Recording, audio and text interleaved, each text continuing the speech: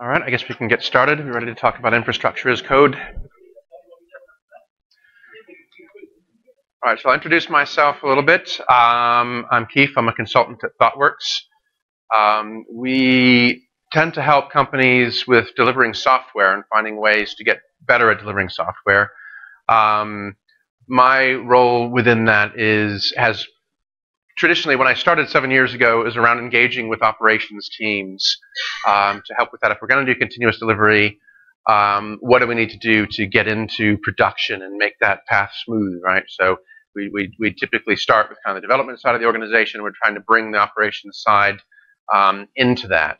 And then over time, um, because um, cloud and infrastructure automation has become more and more popular, um, more organizations are looking um, at how to, and more people and teams who are using these tools are looking at ways to, to use them better, basically. Um, in my background, I've been uh, working in IT for over 20 years across systems administration and development roles. I've always been into automating infrastructure. How many people here uh, worked with a tool called CFEngine or aware of CFEngine? Um, Hey, one one person. Um, so this is the predecessor to like uh, Puppet and and Chef and Ansible and these kind of tools. And so this was like one of the first tools that I adopted. Well, I first started out with like um, shell scripts and Perl and those kind of things to automate uh, things on physical servers. And then over time, um, I discovered CFEngine and messed around with that. And then Puppet came out and Chef. And so I've always kind of been interested in this space. As someone who's crossed development and operations before, that was a, a thing with a, a, a label.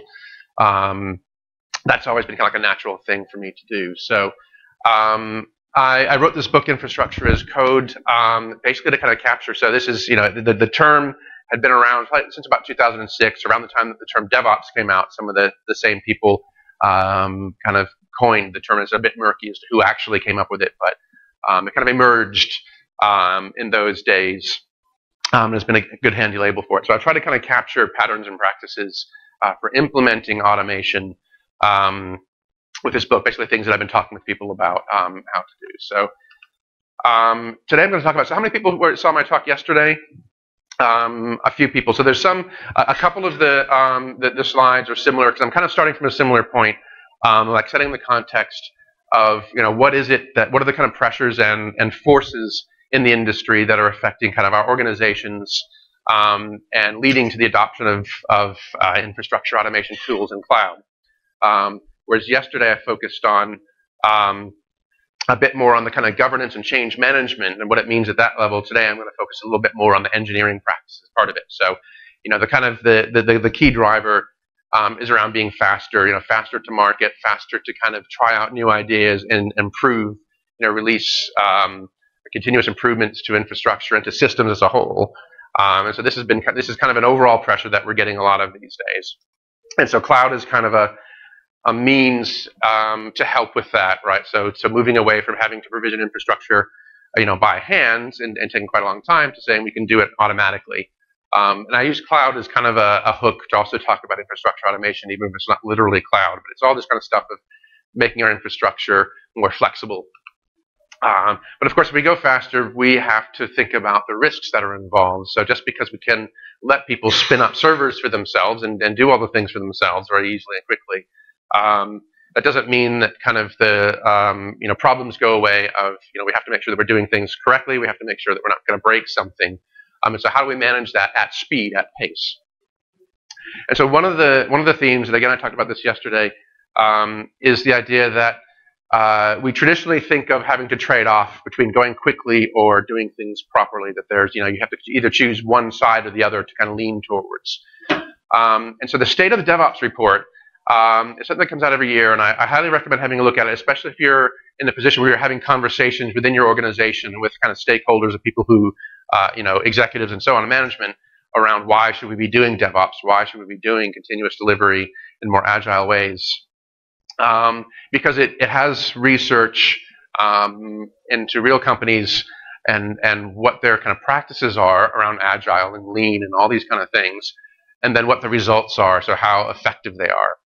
And one of the um, things which, which comes out of this report, a, a, really strong theme, is that companies which are the most effective, that is, the companies who have fewer failures when they try to release software, um, who spend whose whose staff spend least amount of time, you know, fixing things and remediation activities, and even the companies who are the most successful in terms of you know commercially um, are the companies who are releasing software more frequently and releasing changes more frequently, right? So that's that's kind of counterintuitive because it means that the faster you go, um, the more reliable you know things are, the better results you get.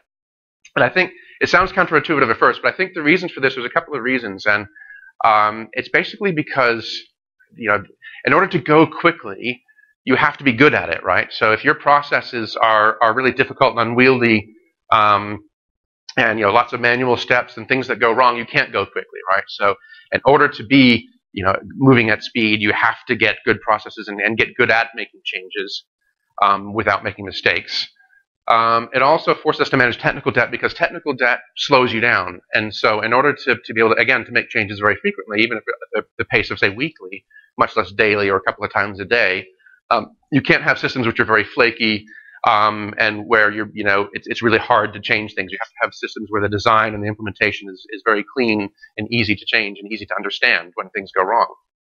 And also the, the, the, the broken windows thing I think is important. So there's this phrase of broken windows, um, which came from kind of a law enforcement campaign in New York where um, the mayor was trying to kind of clean up the city and, and, and improve kind of the, the state of things. And um, the theory is that um, by fixing the small things helps improve the overall culture. Um, and so if you see something, for example, if you see something wrong in your system and you think, okay, it's not broken, it, it kind of works, but it's a little bit dodgy, um, and you know, it could something could break in the future. If correcting that, improving that, takes like multiple weeks, it means you have to like justify it and go to a cab meeting and, and have lots of process around that. You won't fix it, right? You'll put it on the list of known issues, and you say, well, maybe we'll get to it later, and it'll just get fixed at some point and that list builds up. And then you have this kind of culture where it's acceptable to have dodgy code and, and systems. Uh, by lowering the barrier and saying we've got the processes in place, we're getting good at change, and we're able to say that thing that looks a little bit dodgy, we can just fix it and and be confident that it's not going to break something to fix it. You know, we're we're, we're confident in making changes. Um, that just kind of improves the overall quality of the system. So it kind of makes sense when you look at those organizations who are doing who are, who are very very good at IT um, that this is the approach. They're making changes constantly because that's how you fix and improve and learn is by making changes. All right. So what good looks like overall, what we kind of want to get to is where we can have multiple teams working on our system, on a complex system potentially with many uh, moving parts, um, but we are minimizing the overhead of coordinating changes between those teams. We don't have to spend a lot of time talking about what changes we're making. Um, and that changes are a routine thing that happen easily. Um, and also that we can rebuild anything at any time. So any part of our infrastructure, we're very confident that you know if something happens to it or you know, whatever it is, we can just you know it, it, it's not flaky. It's not something we have to be very very careful. Don't touch it; it might break. So when I first discovered virtualization, so I used to work with with physical servers, and when somebody came to me and said, "Oh, we have this application we want to deploy," um, and we need a server for it, I would have to you know have to provision hardware, have to buy some hardware um, assemble it, and take it down to the data center. And so it was a lot of work to do. And then um, I discovered VMware, and we installed it in our um, our off office data center where we had kind of all of our development environments and non-production things. And it was great. So somebody came and said, "Can I have a server?" Yeah, sure, I can cut you a VM. VM for you, VM for you. You know, anybody who wants a VM, I can just do it like that, snap of a finger. And so that felt really awesome. Like you know, Mickey Mouse and the the, the Sorcerer's Apprentice um, where he's got his you know magical brooms that are just doing all the work for him, and it was, it was awesome. And then this, what happened to Mickey is the same thing that happened to me. I ended up with loads and loads of virtual machines which were out of control.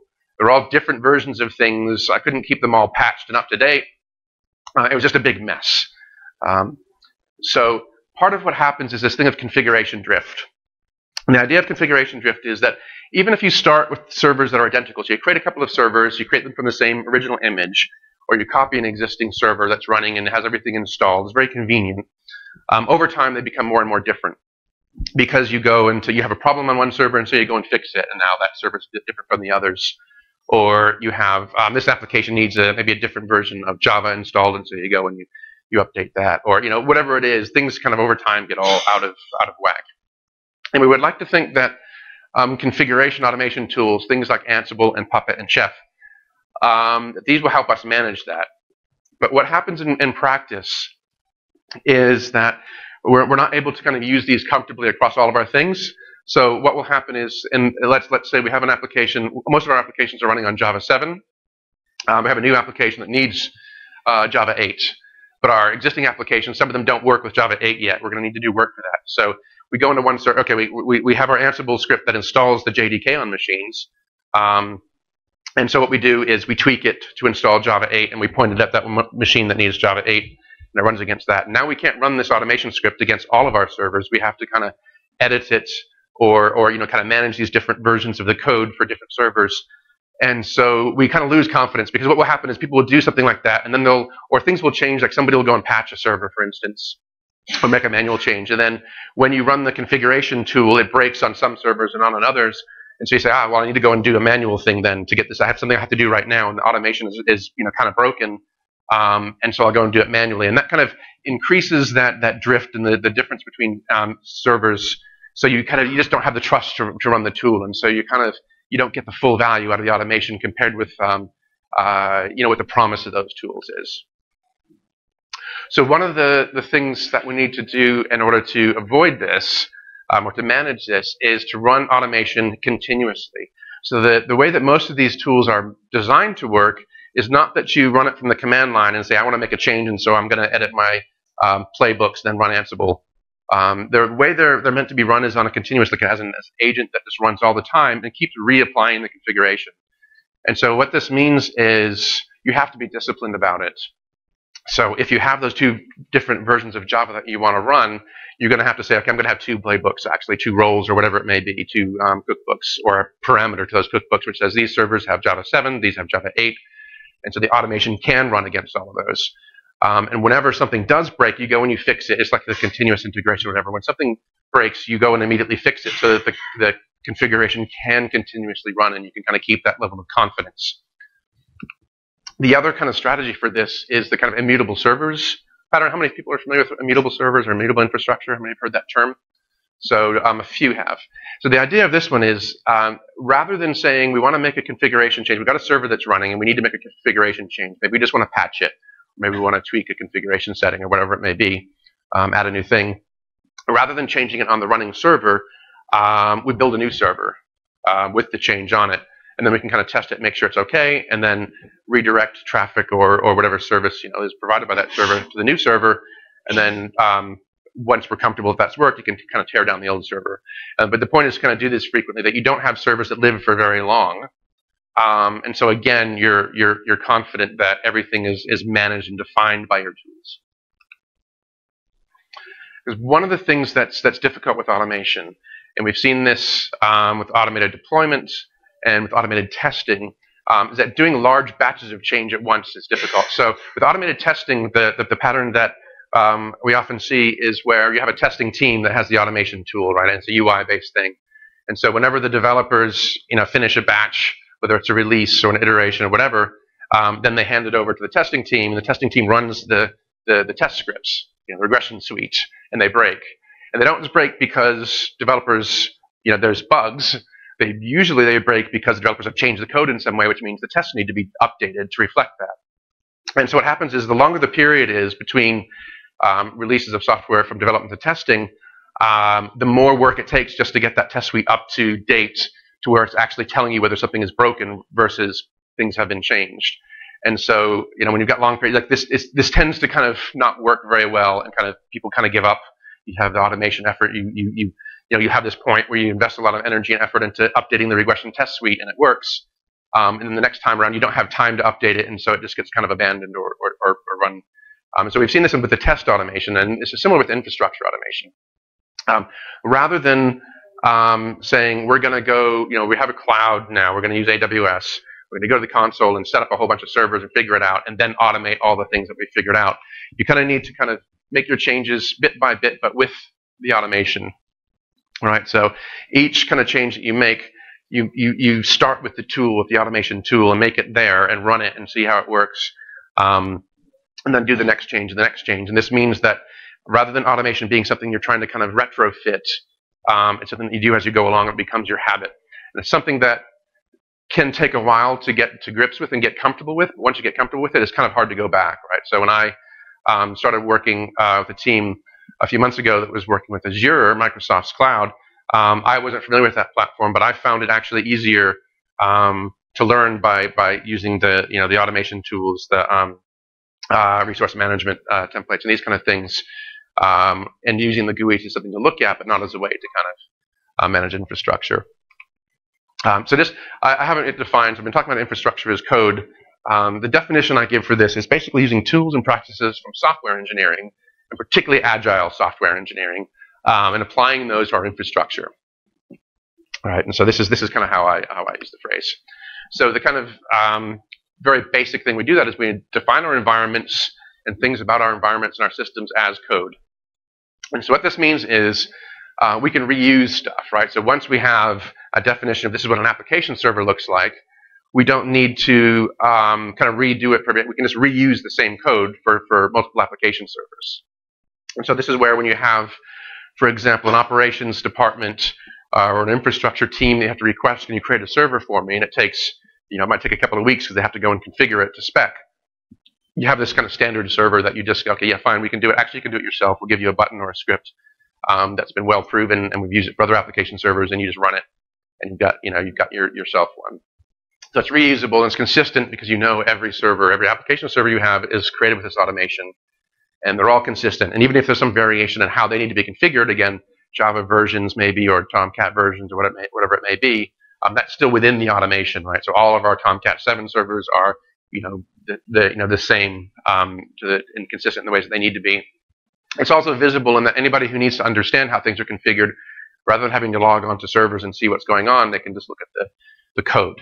Um, and this applies to kind of security folks and auditors and, and architects and anybody who has kind of like governance responsibilities and wants to make sure you know our team's doing things correctly they can look at the code to see how it actually how it actually is, rather than going to look at documentation and diagrams, for example, which are probably out of date. Um, obviously, you can put it into version control, so you can go and see the history of changes that have been made to it. And it's actionable. So what, what I mean by actionable is if things are defined as code and you stick them into a version control system, every time somebody commits a change, you can trigger some kind of action. So you can see that a change has been made. Uh, you can do things like continuous integration, as I'll get onto. So the prerequisite to being able to do this kind of stuff is what I call a dynamic infrastructure platform. This is basically where you have a bunch of an API that lets you manage um, compute resources, network resources, you know, storage, and so on. Um, and I use this term, it's kind of like, so it's cloud infrastructure as a service is the obvious thing that we're, we're talking about. Um, but the reason I use the, the term dynamic platform instead is because it doesn't have to be a cloud. It doesn't have to be a, um, an IaaS type cloud. You can do it with virtualization. So with um, even VMware, even the non-vCloud uh, VMware, you can have scripts and stuff that make it work this way. And even with physical infrastructure, you can make it dynamic by using tools like Foreman or what have you to automatically boot hardware and install operating system images on them. So if you need to work at the hardware level for your particular system, you can still have this kind of automation happening. It takes more work. It's obviously very easy to do it with the cloud. That's kind of the ideal and, and lowest um, barriers to doing it. But it is possible to do it in various types of infrastructure as well as with platform as a service, containers, serverless, all of these things, they, they, they apply, whatever it is that you're kind of managing, whatever the, the, the platform it is that you're deploying onto. So um, thinking about the different parts, the different kind of tooling that's involved in this, the kind of high level thing is this um, environment definitions or environment provisioning stuff. So this is things like Terraform or CloudFormation.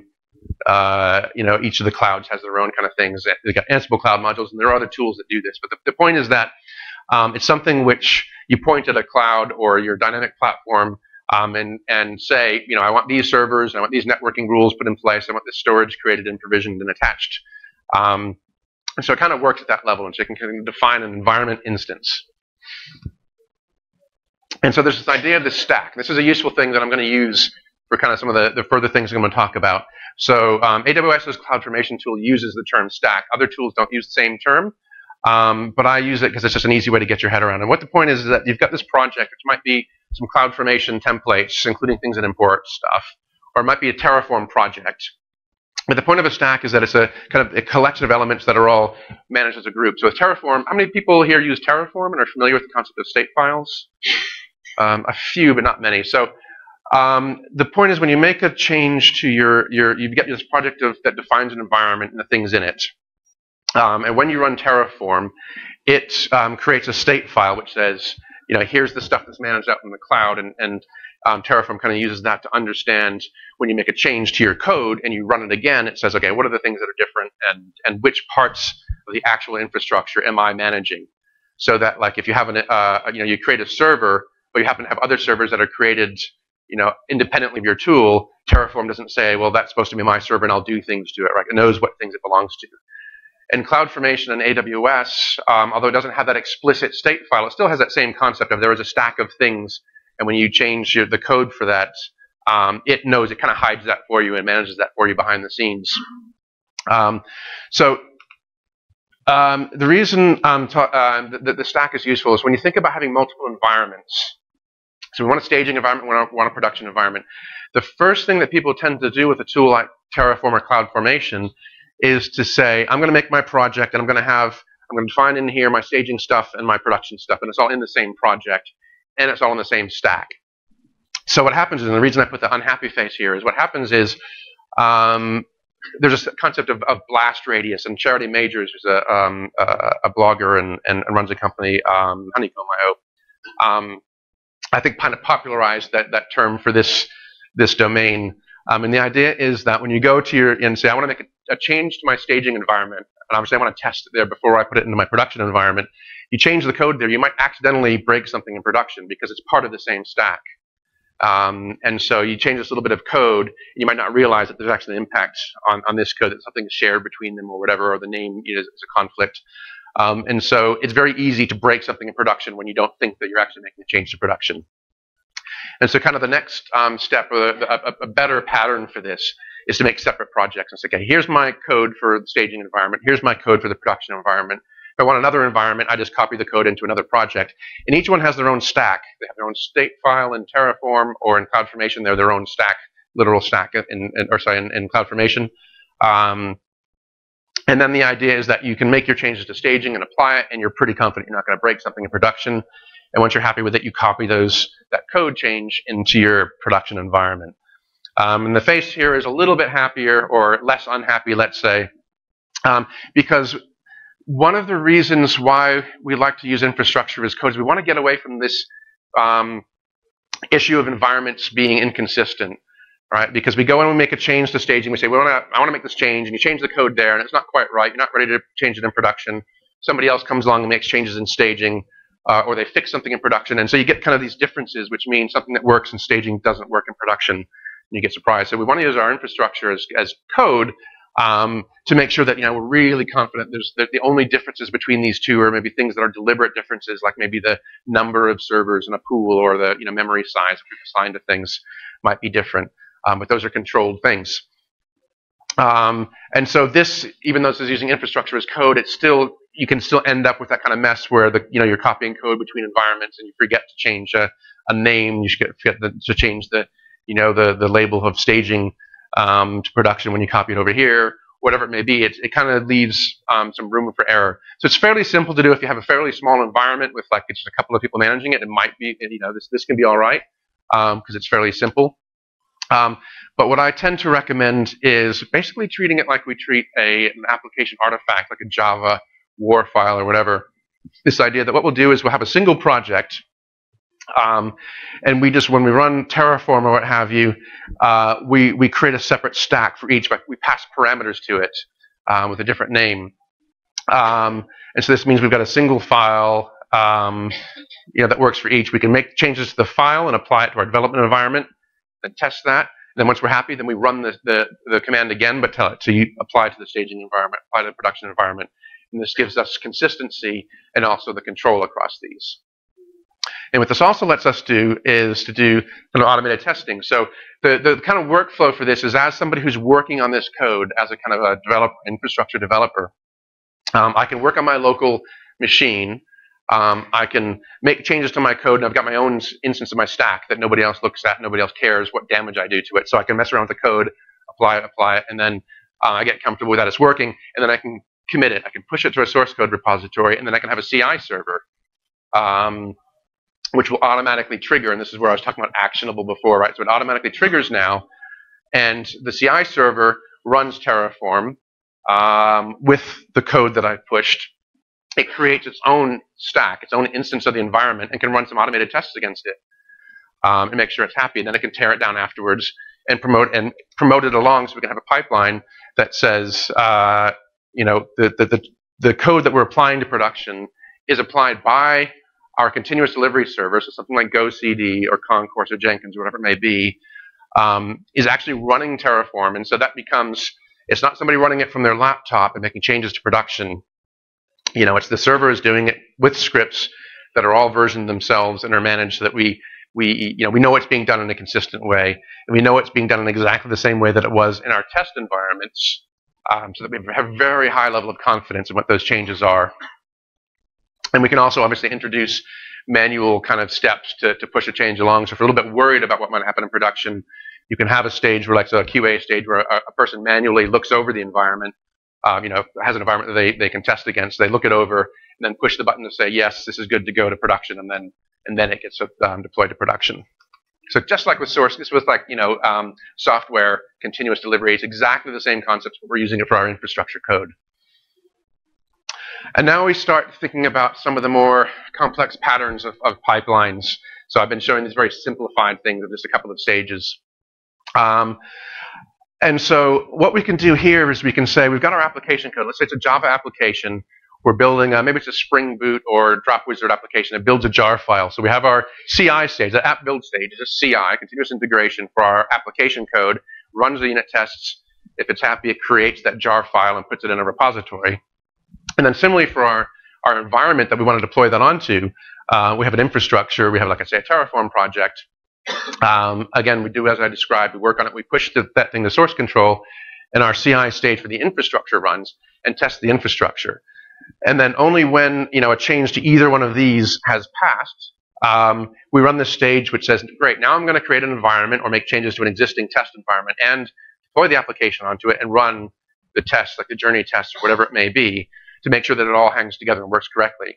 And so this is something I've done. I used to do it more where I would apply the infrastructure like chef cookbooks or whatever directly onto the environment. But then I would break things because I messed up a cookbook, um, which would mess up the servers, which meant that the development teams couldn't kind of work. They had to wait for me to fix my problem. Um, and given that I was working with infrastructure, that problem that could be quite big. Um, so I, I got to this thing of having an infrastructure test the infrastructure first, and only once that is passed and looks good do I pass it along and, and pretend, you know, avoid breaking development process. And then these things move, so the infrastructure code and the application code move together throughout all the environments, and we know the environments are consistent, and we've tested, you know, it's, you know, once it gets to production, we know we've tested this version of the application with this version of the infrastructure, and so we're very confident. And so going down to the next level of tooling, so I've been talking about that kind of environment level stuff, the CloudFormation, Terraform, Now looking at what happens with servers. So part of what's in those definitions is it says, um, you know, I want an application server and a web server and a database server, for instance. Um, and so then it, it, uh, it, doesn't manage what goes onto those servers. It just kind of says create that kind of server. And so we need a tool to kind of manage that. Um, and this is where we've got tools like Ansible, Chef Puppet, which um, manage what goes on inside a server. So what packages get installed, what user accounts get created, um, what configuration files are in place and, and what's in them. Um, and so the way this kind of process works is you have like a base server image, like an AMI or a VMware template or whatever it may be, um, and that gets spun up, and then the configuration tool runs and, and, does things to it, right? And now you've got your running server, and that's cool. Um, and so then in terms of pipelines to manage this stuff, this is where we kind of break things down. And so if we look at like server roles, where they say like we have a web server and an application server, when we have, an, as let's say, Ansible playbooks and roles that kind of configure what goes onto those things, you can have test stages for that. Um, so rather than having to, because what happens with that when we're using Terraform or CloudFormation to spin up a whole bunch of infrastructures, that kind of takes a while, right? So the, the feedback cycle is a bit long um, to wait for the, those automated you know, continuous integration tests at that level. So we can say before we get to that even, before we get to that infrastructure test stage, I'll my little pointer there, before we get to that stage, we're going to say, let's do some continuous integration testing on just our server configuration code. And so we might use um, like a virtual machine, or we might use, um, uh, so uh, on, on, a few projects now we've used Docker images where we, we basically spin up a Docker image that has a Linux on it, um, and then it runs our Ansible playbooks or our cookbooks or whatever it may be and then it runs some tests, some automated tests using something like Serverspec And we can use a test uh, a tool called Test Kitchen, which is quite good for managing these, spin up some infrastructure, apply some things to it, and then run these automated tests and kind of manage that process.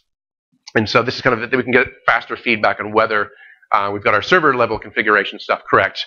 And if it's correct, then we can pass it along and say, okay, now use Terraform or whatever to spin up, um, you know, an actual virtual machines um, on our infrastructure with the networking around it and run some tests that look at that level. Does everything still kind of talk to each other um, up at that level? Now, the next thing we can do is I, I talked about um, previously where we have that base AMI that we use and we spin up our server image and then we run Ansible or what have you. Um, actually, we can go and we can start kind of building stuff onto the server image. Let's say we have an application server. We need to install a JDK. We need to install Tomcat. Those are very heavyweight things. Every time you spin up a new server in any environment, having to run your Ansible playbooks to, to install those things, it takes a while. And there is also some element of risk.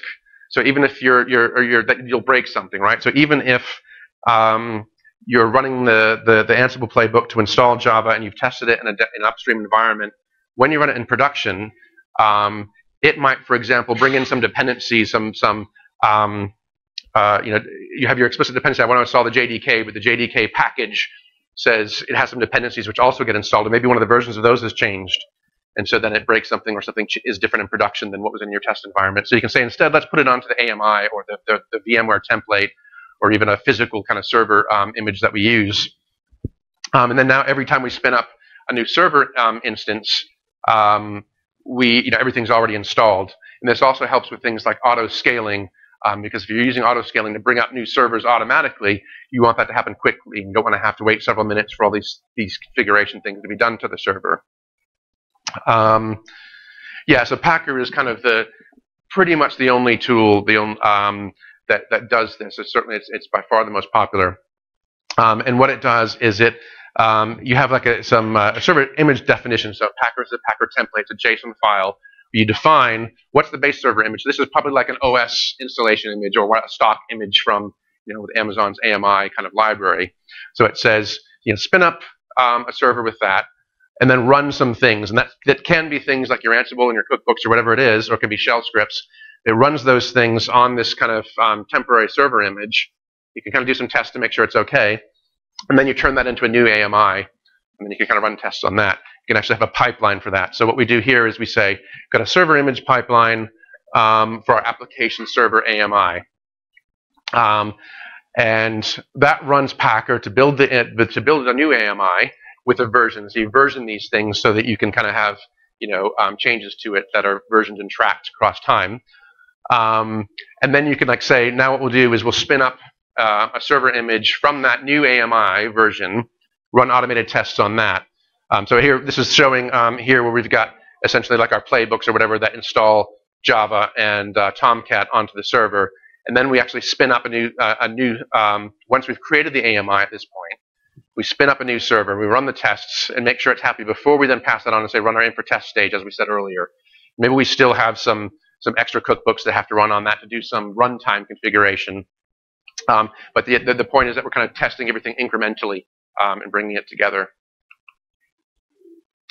So now, the, one of the big challenges that come up when we talk about things like using pipelines for infrastructure and defining our environment as a template is that things get quite big. So if our production environment looks like this, um, having a single stack, having this, uh, you know, a, a, a, Terraform project which defines all of that stuff and then creates it, manages it in one big stack, even though we have our staging and development environments that are identical but separate, um, you know, it's quite messy. So it takes a long time to test. And so one of the barriers to doing those automated testing in the pipeline that I talked about is, you know, it takes you know, um, 60 minutes to spin up all the servers and everything that, that represent our whole production environment.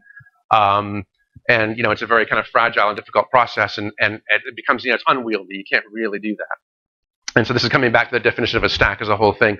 So the solution to this, to make this more tenable and more workable, is, um, uh, yeah, and the other thing is just that you can break things within that stack. You know, you have multiple teams working on this stack, so we might be changing something which might have an impact on somebody over there. And so we end up with having to have a lot of coordination overhead between the teams working on our, our environment. So what we want to do instead is break it down into multiple stacks. Um, and this starts looking familiar. So if you're, you know, and, and, from the software architecture world, this is like we've got a monolith and we need to break it down into microservices, right? It just happens to be infrastructure. Um, and so that we can, we want to be able to change each of those things independently. And yes, there will be integration between them. So this kind of thing over here um, might um, have, you know, uh, might integrate with an application running over in this stack, or the infrastructure might integrate in some ways. Um, but the boundaries become more clear. Okay, um, so we've got. Um, you know, it becomes more visible what the dependencies are between these stacks, and we can ma manage those the same way that we manage dependencies between applications. Um, and we, we can define those boundaries to minimize changes that go across those stacks. And so, again, similar to infrastructure um, or to applications, um, you know, what you, so as an example, the, a, a, typical boundary in the infrastructure world is between those kind of tiers of we've got our web servers that are running with a firewall in front of them, and then our application servers are in a, a separate subnet or VLAN so firewall in between them, and then our database servers and another one. And so this is kind of some natural boundaries from the way that we structure our networks.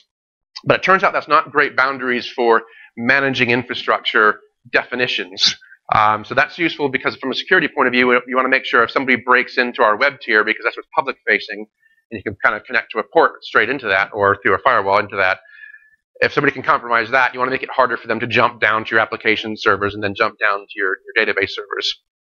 Um, but when you make a change, you're off to an application or to a system, you're often having to change things. We're making a change to our, our uh, web server um, configuration and our application and maybe database.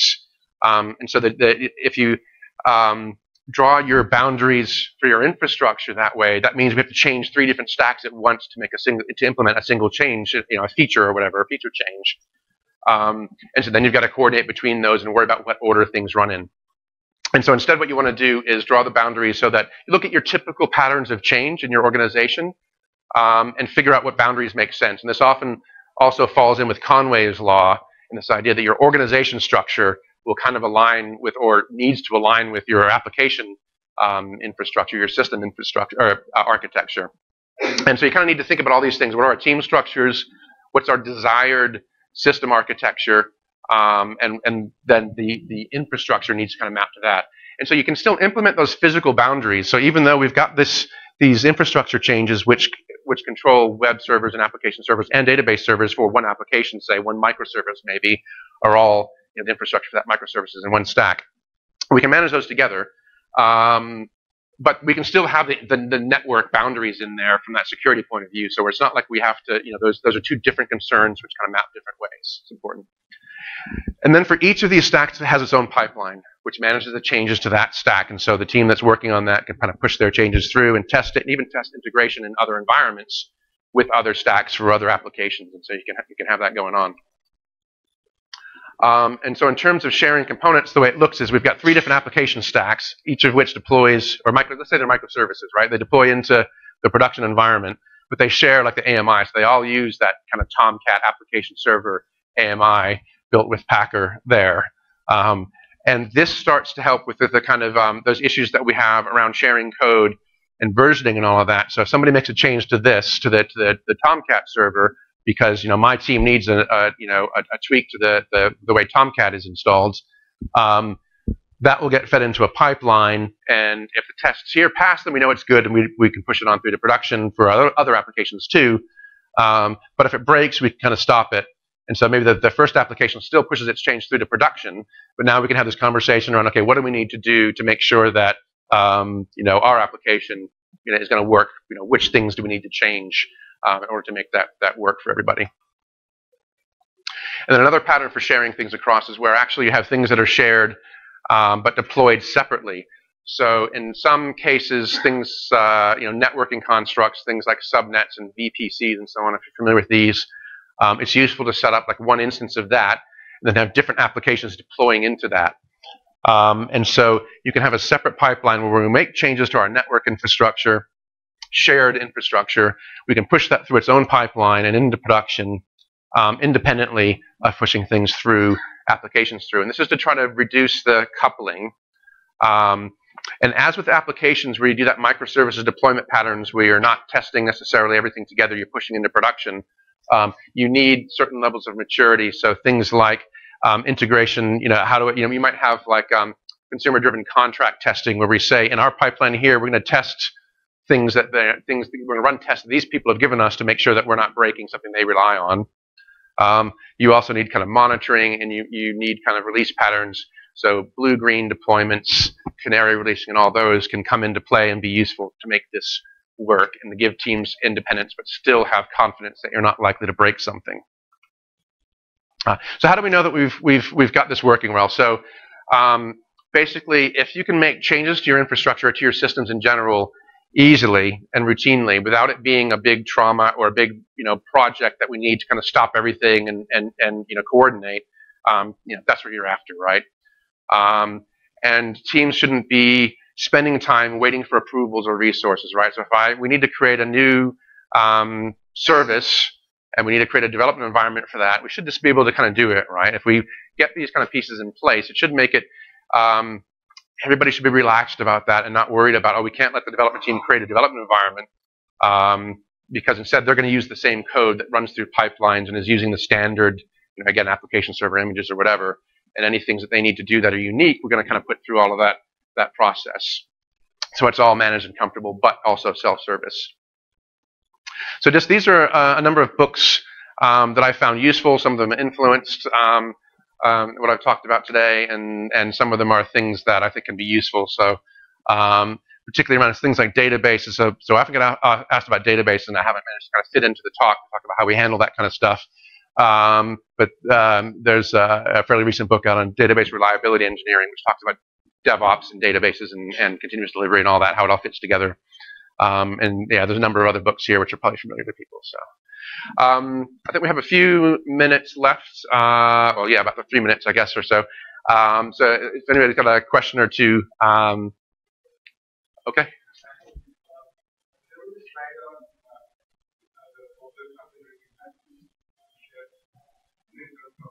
Server configuration tools, yep.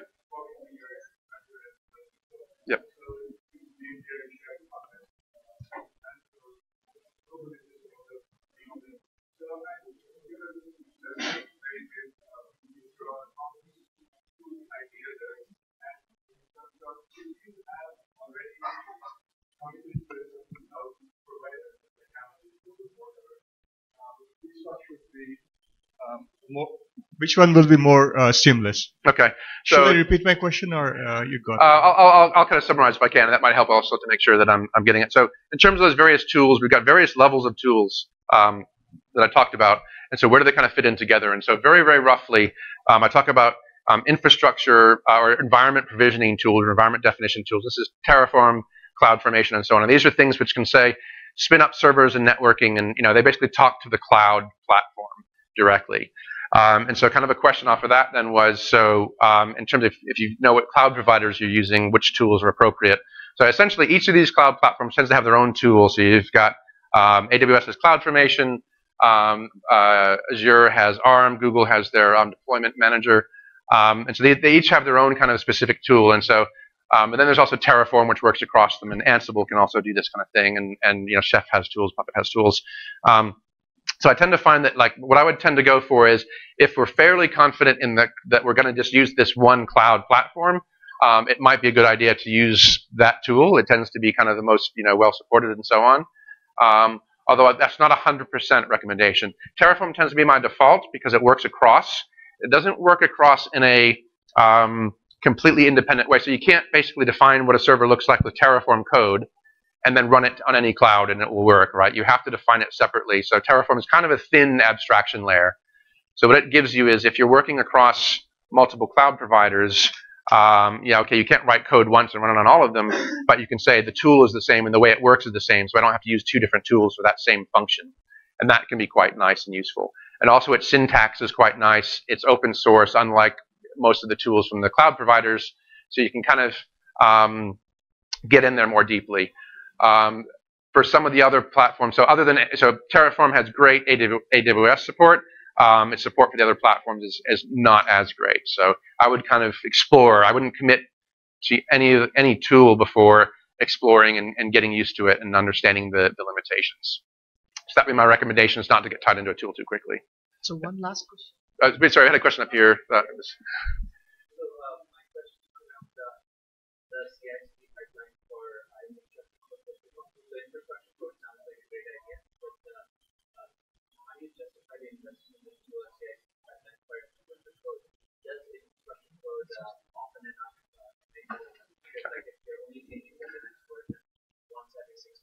Okay. So the question is, can you justify um, investing in a pipeline for infrastructure code if it doesn't change that frequently? Um, so I would say if your infrastructure doesn't change very frequently, that's you know you you, you may not need to make that investment. Um, I think that's fairly rare these days, especially if you're using um, kind of cloud platforms. So like you give the example of Linux code. So if you're only updating your Linux servers once a year, I think you're you're you're you're very dangerous from a security point of view. You need to be doing you know patching and those kind of things very frequently, and pipelines actually help with that. Um, so if you have a pipeline that rolls out changes, so I, I normally patch my servers, you know, at least weekly, if not every day, um, and I can do that with the pipeline. Whereas if I'm using manual processes, I can't, um, and I can test, you know, while I'm doing that. Um, so I would say in, in most environments that I've worked on, especially in cloud, things are changing so rapidly um, that it's it's for me it's difficult to to justify not not automating it. And also from a security point of view and compliance, if that's a concern, these are, are really useful tools for that, or really important patterns. So I guess that's it. Um, thanks a lot for coming out.